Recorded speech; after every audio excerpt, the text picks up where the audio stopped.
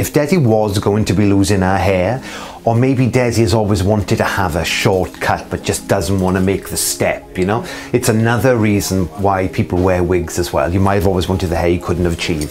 So first of all, I'm going to put the wig cap on.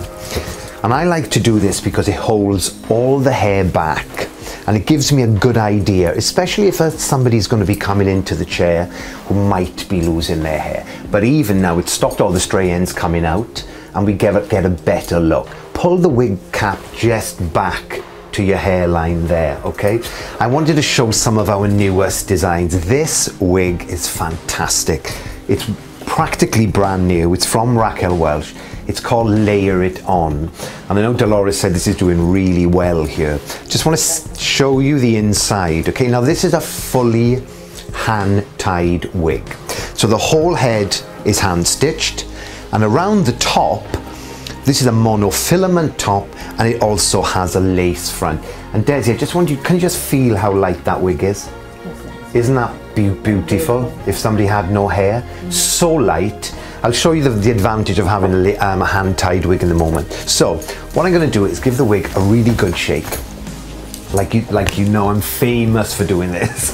I shake the wig to wake the wig. I'm going to use a little bit of conditioning spray, only a little bit, because I like to break up the fibre. So give the wig some life. And what we've done as designers, we've styled that wig for you. I mean, just to show that if you don't be scared, your client, no need to be scared because we do the hard work for you. So you give this wig a shake. I'm going to flip this round. Hold the front for me there. I'm going to align the side tabs up with your temples. I'm going to pull back. And then all you have to do is style. I'm going to pull the wig up to your hairline.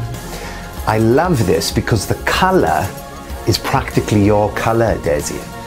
So that's what you need to do as well with your clients, you know, because this really just looked, if you went home tonight and showed your family, they would think you've just had your hair cut.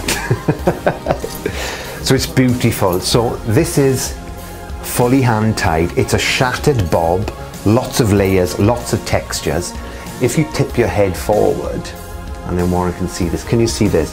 The fabulous advantage about a hand tied wig is you can change the parting any way you want. So if somebody has no hair, not only is it extremely lightweight, but you can also see your scalp. It's amazing. Isn't that beautiful? Yeah. Very, so, natural. very nice, natural. So do me, Daisy, can you just shake your head for us? See, look, the wig just really styles itself. It's a beautiful shattered bob. Now, once you have it on, you just can style it like your own hair. So there's so many different looks. So I can do this with it. I can bring the hair back. I can tuck this hair behind your ears like this. And then we can have a completely different look. Because I really like this sort of daytime cut. So I always say you can take the wig from day to night. That's a nice little daytime wig.